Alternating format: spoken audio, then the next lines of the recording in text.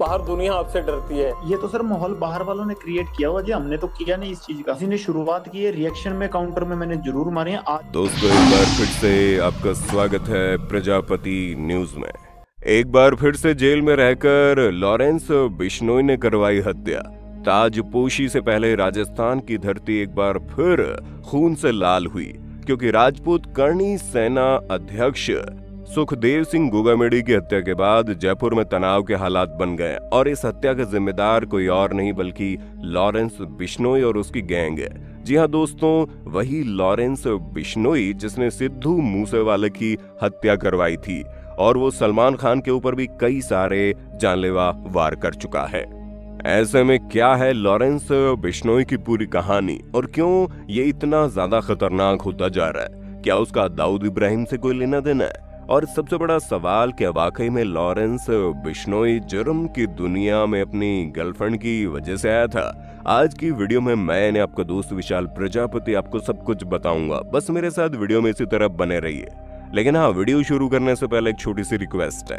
Video के नीचे red colour का सब्सक्राइब बटन दिख रहा होगा, उस पर क्लिक करके सब्सक्राइब कर लें और साइड में बेल आइकॉन भी दिख रहा होगा, उस पर भी क्लिक कर लें ताकि आपको वीडियो मिले सबसे पहले। दोस्तों, जब से करणी सेना के अध्यक्ष सुखदेव सिंह की हत्या हुई है, तब से लॉरेंस बिश्नोई का खौफ और ज़्यादा बढ़ गया है, क्योंकि हत्या की पूरी ज़िम्मेदारी रोहित गुदारा ने ली है, जिन्होंने खुलेआम सोशल मीडिया पर जाकर ये कहा कि हत्या किसी और ने नहीं, बल्कि हमने करवाई है। क्योंकि सुखदेव लॉरेंस बिश्नोई के दुश्मनों के साथ मिलकर काम कर रहा था, इसलिए उसे मौत के घाट उतारा गया।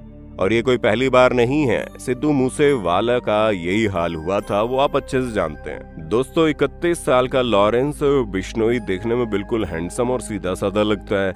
अगर कोई अचानक से इसे देख ले तो ये नहीं कह सकता कि इंसान इतना खतरनाक होगा। कहा जाता है, लॉरेंस बिश्नोई शहीद भगत सिंह को अपना रोल मॉडल मानता है। और जेल की दीवारों पर भी उनके पोस्टर लगाता पर दोस्तों, सिर्फ़ 31 साल की उम्र में दर्जनों से ज़्यादा आपराधिक मामले अपने नाम दर्ज करवाने वाला लॉरेंस बिश्नोई चाहे जेल के अंदर रहे या बाहर, उसका काम कभी नहीं रुकता। वो जेल के अंदर से हत्या, फिरौती, लूटपाट और न जाने कितने अपराधों को लगातार अंजाम देता रहता है, जिसका उदाहरण आप अच्छी तरह से देख सकते हैं। पर दोस्तों सवाल ये खड़ा होता है कि एक पुलिस वाले का बेटा आखिर कैसे जुर्म की दुनिया का बेताज बादशाह बन गया? 22 फरवरी उन्नीस में पंजाब के फाजिलका में जन्मे लॉरेंस बिश्नोई को उसकी माँ ने लॉरेंस नाम दिया, जिसका मतलब होता है दूध की तरह चमकने वाला। लॉरेंस को बचपन से ही बड़े लाड प्यार से पाला गया। पिता पुलिस में तैनात थे, ऊपर से करोड़ों की खानदानी ज़मीन थी इसलिए बेटे ने बचपन से ही जो फरमाइश की पूरी की गई। लॉरेंस खेल में अच्छा था, इसलिए परिवार को लगता था कि एक दिन वो खेल के क्षेत्र में परिवार और देश का नाम रोशन करेगा। पढ़ाई के लिए लॉरेंस ने चंडीगढ़ के डीएवी कॉलेज में एडमिशन लिया और यहीं से उसने अपराध की दुनिया में अपने कदम रखे। साल 2008 में पहले तो उसने छात्र संघ का चुनाव लड़ा, जिसमें वो हार गया। लेकिन चुनाव हारने के बाद लॉरेंस बिश्नोई की दूसरे पक्ष से दुश्मनी हो गई। एक बार दोनों पक्ष आपस में आमने सामने आ गए, आपस में फायरिंग करने लगे और इस पूरे हादसे से ही लॉरेंस की ज़िंदगी पूरी तरह पलट गई, क्योंकि सामने वाले पक्षी से गहरी दुश्मनी होने के कारण लॉरेंस को अपने प्यार तक को खोना पड़ा था। लॉरेंस को जानने वाले लोगों का कहना है कि सामने वाले पक्ष ने एक साजिश के तहत लॉरेंस की गर्लफ्रेंड की हत्या कर दी थी। बस इसी के बाद से लॉरेंस कुख्यात गैंग जग्गू भगवानपुर के गिरोह में शामिल हो गया। और जुर्म को उसने अपनी दुनिया बना ली। यानी कि आज के टाइम पर भारत का सबसे बड़ा गैंगस्टर जुर्म की दुनिया में अपने सच्चे प्यार को खोने के बाद आया और तब से उसने पीछे मुड़कर नहीं देखा।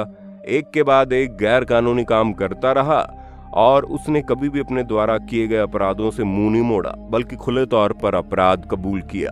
और ये वजह है कि आज लॉरेंस बिश्नोई की तुलना दाऊद इब्राहिम से की जा रही है, क्योंकि इससे पहले जब भारत के सबसे बड़े गैंगस्टर का नाम आता था तो लोग दाऊद इब्राहिम को याद करते थे। लेकिन अब लोगों की ज़ुबान पर सिर्फ़ और सिर्फ़ लॉरेंस बिश्नोई होता है, क्योंकि पिछले कुछ सालों में लॉरेंस बिश्नोई की गैंग ने अपनी ताकत को अभूतपूर्व तरीके से कई गुना ज़्यादा बढ़ा ली है। यहाँ तक कि एनआईए द्वारा जो चार्जशीट दर्ज की गई थी उसमें भी ये बताया गया है कि लॉरेंस बिश्नोई की गैंग उसी पैटर्न को फॉलो करके आगे बढ़ रही है, जो दाऊद इब्राहिम की गैंग ने किया था। आपको बता दें, लॉरेंस बिश्नोई की गैंग इतनी ज़्यादा बड़ी है कि इसमें जो शूटर्स हैं वो 700 से ज़्यादा है, और जो छोटे मोटे काम करने वाले इन्फॉर्मर या फिर डराने धमकाने वाले लोग हैं, उनकी संख्या तो हज़ारों में है, जो पलक झपकते ही अपनी गैंग के लिए जान तक दे सकते हैं। जी हाँ दोस्तों, लॉरेंस बिश्नोई की जो गैंग है वो काफ़ी ज़्यादा मज़बूत है इस गैंग में किसी को भी डर नहीं लगता, तभी तो गैंग को ज्वाइन करने वाले जो नौजवान है, वो खुद मर्डर, फिरौती और बाकी तरह के काम करने के लिए आगे रहते हैं। और जब क्राइम पूरा हो जाता है तो ये लोग खुले तौर पर अपना नाम बताते हैं और कारण भी बताते हैं कि क्यों इन्होंने लोगों की जान ली या फिर उनके साथ कुछ गलत किया। बिश्नोई गैंग को ये बिल्कुल भी पसंद नहीं कि कोई उनके खिलाफ जाए। इसलिए जो कोई भी ऐसा करने की कोशिश करता है, उसे मौत का मुँह देखना पड़ता है। अब अगर देखा जाए तो लॉरेंस बिश्नोई की कहानी किसी फिल्मी स्टोरी से कम नहीं है, जिसमें लव स्टोरी भी है, ड्रामा भी है, एक्शन भी है। ठीक वैसा ही जैसा दाऊद इब्राहिम की ज़िंदगी में हुआ करता था। हालाँकि दाऊद इब्राहिम ने तो कई सारे मासूम लोगों की जानें ली हैं, लेकिन लॉरेंस बिश्नोई केवल अपने दुश्मनों को चुन चुन कर मारता है और मारने के बाद कहीं भागता नहीं है, बल्कि खुले तौर पर अपना जुर्म स्वीकार करता है। लेकिन इसके बेसिस पर हम लॉरेंस बिश्नोई गैंग को सही नहीं कह सकते, क्योंकि अगर इनके जुर्म का सिलसिला इसी तरह बढ़ता चला गया तो इन पर काबू पाना मुश्किल हो जाएगा। क्योंकि देखा जाए तो लॉरेंस बिश्नोई काफ़ी लंबे समय से जेल में बंद है, लेकिन फिर भी जेल के अंदर बैठे बैठे अपने सभी क्राइम अंजाम दे रहा है। जो देश के भविष्य के लिए बहुत खतरनाक है। क्योंकि क्या पता लॉरेंस बिश्नोई भी आगे चलकर दाऊद इब्राहिम की तरह देश को धोखा दे दे और मासूम लोगों की जानें लेना शुरू कर दे। वैसे आपको क्या लगता है, क्या लॉरेंस बिश्नोई भी दाऊद इब्राहिम की तरह देशद्रोही बनेगा या फिर अपनी अलग ही पहचान बनाएगा? अपना जवाब कमेंट में बताइए और इसी तरह की वीडियोस को देखते रहने के लिए हमारे चैनल प्रजापति न्यूज़ को लाइक, शेयर, सब्सक्राइब कर देना। हम फिर मिलेंगे नए वीडियो में, तब तक के लिए जय हिंद, जय भारत। दोस्तों, आपकी स्क्रीन पे दो और वीडियोस दिख रही हैं, जिसे देखने के लिए आप इस स्क्रीन पर क्लिक करें। दोनों देखिएगा, बहुत अच्छी वीडियो बनी है।